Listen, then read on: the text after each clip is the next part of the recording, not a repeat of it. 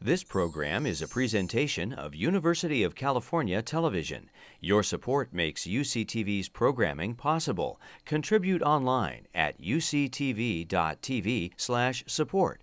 Check out our YouTube original channel UCTV Prime at youtube.com/uctvprime. Subscribe today to get new programs every week.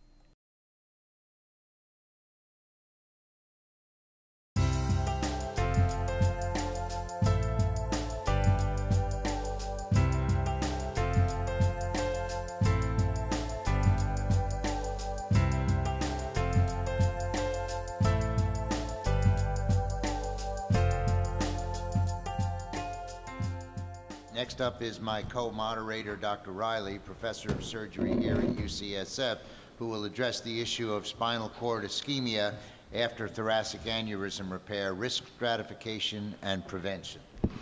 Uh, thank you. Um, the title of my talk would imply that we actually know how to prevent spinal cord ischemia, and I would suggest that if we knew that, we would all be uh, far happier than we currently are when facing the treatment of patients with thoracic or thoracoabdominal aneurysms. I'm actually going to uh, focus on thoracic aneurysms here and leave as much as I can thoracoabdominals out of it, though the way the data are presented in the literature, that's a little bit hard, as you'll see.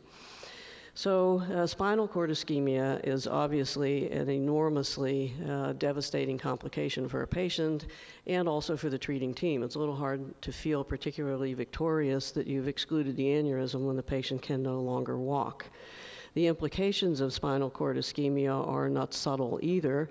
Patients who have spinal cord ischemia have a lower survival overall, which you see in these, uh, the curve to your left or the graph to your left. And the degree of spinal cord ischemia also has an impact on the survival of the patient. So the worse the, the deficit, the greater the likelihood the patient will be dead. So it not only affects the patient, their family, everybody who treats them, but it, it kills the patients a, at a faster rate. Some patients might say that given that complication, that's not bad, but it's certainly not what you're looking for when you set out to treat the patients.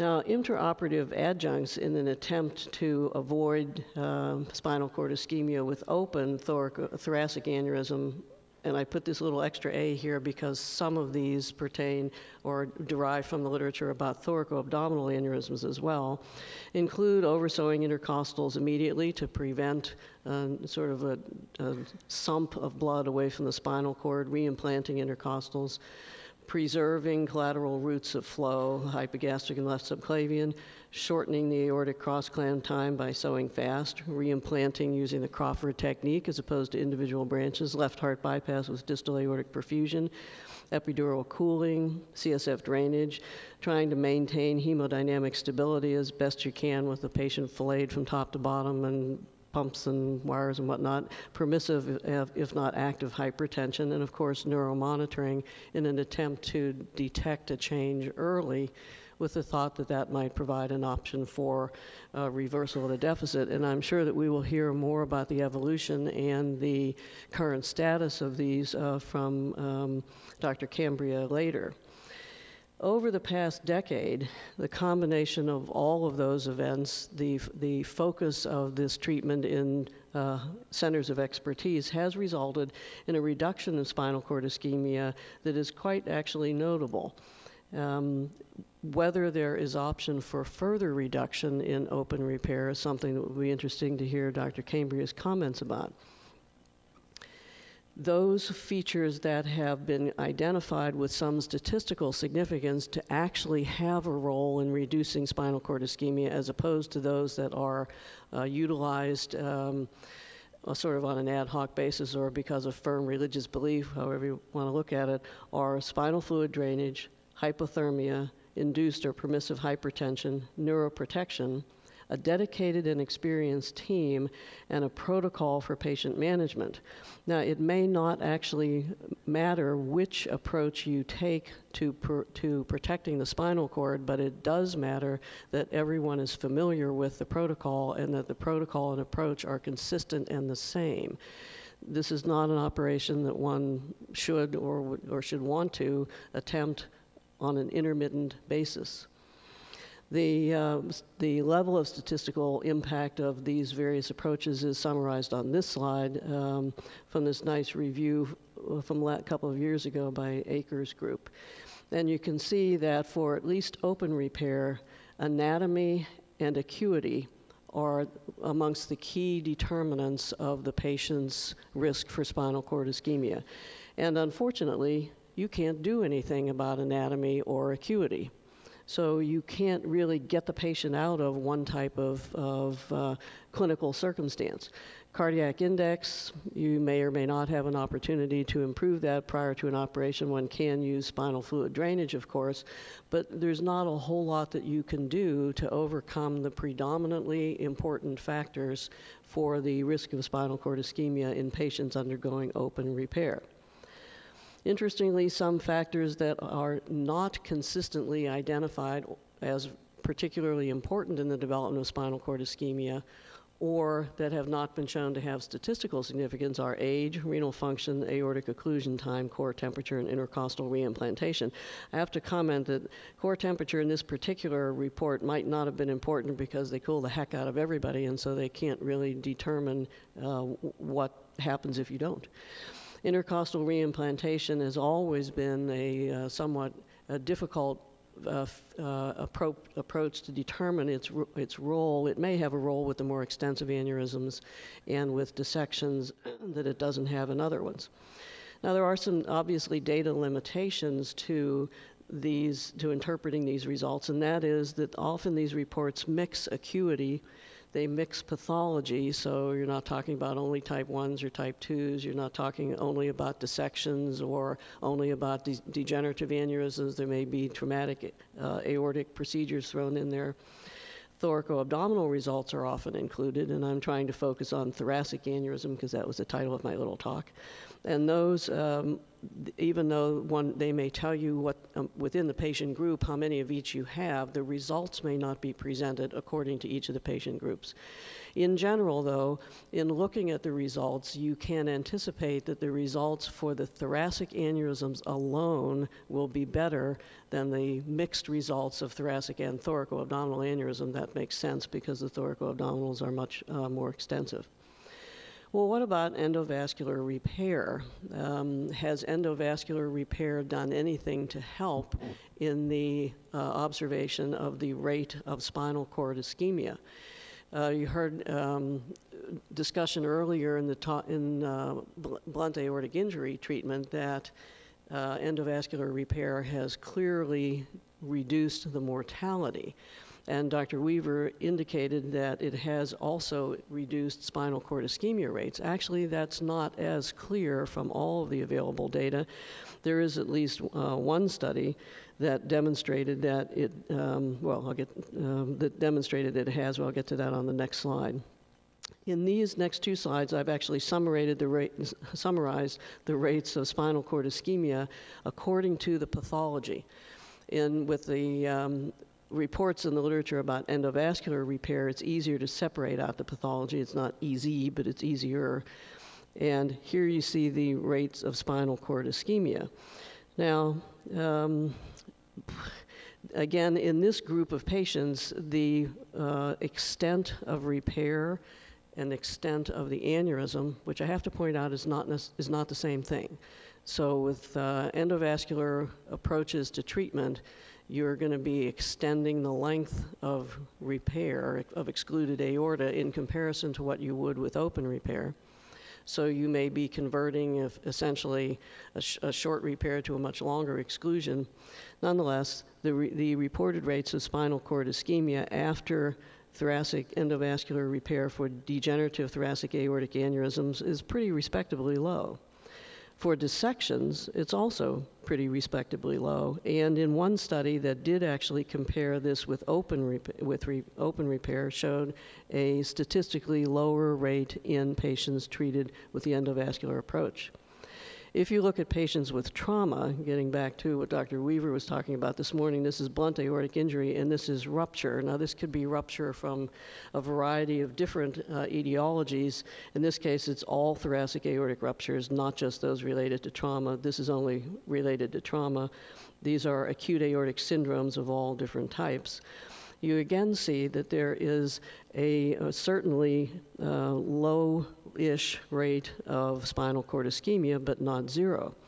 If you compare that within the same group, uh, or the, within the same report, to the, re, the incidence of spinal cord ischemia with open repair, while in many cases it, it is a little it's lower for endovascular, it's not necessarily statistically significantly lower. Why is that? Well, it's probably because in many circumstances the clinical presentation for the trauma patients trumps the, the ability of the repair to overcome the ischemic insult. Nonetheless, there are some uh, reports that do indicate that the rate for endovascular repair for acute aortic uh, circumstances is significantly less than it is for open repair. Um, now remember, we're not talking about mortality here. Mortality has clearly been shown and quite consistently to be lower for the endovascular approach for these urgent circumstances than it is uh, for open repair what are the important factors for the development of spinal cord ischemia in patients who undergo endovascular repair of thoracic aortic conditions? Well, the length of the excluded aorta is significantly related to the risk of spinal cord ischemia, and depending upon which study you look at, you can come up with various measurements of what the key length is or a key cut point in the length. But the bottom line is similar to open repair. The longer the aorta you exclude, the more likely it is that you will see uh, paraplegia. Similarly, sacrificing collateral routes of flow to the spinal cord also increases the risk of uh, spinal cord ischemia. That's not rocket science. In this case, the two collateral routes that they're talking about are some part of the thoracic aorta plus either the left subclavian or the hypogastric. Replacement of the infrarenal aorta has long, at concomitantly has all, long been recognized as an increased uh, risk of spinal cord ischemia. The, this history of prior aortic surgery is uh, plus minus. In some series, it correlates with an increased risk, and in others, it doesn't. Other factors that are important um, are, again, female gender, as you've heard uh, talked about, hypotension, both perioperatively, and, um, intraoperatively, and postoperatively renal failure, the specific pathology of the aorta that you're treating almost reaches statistical significance with degenerative thoracic aneurysms being uh, at greatest risk for paraplegia. Iliac conduits, blood transfusions, reoperating for bleeding, and increased contrast volume, probably as markers of more complicated procedures and lengthier procedures, are also notable for increased risk of spinal cord ischemia.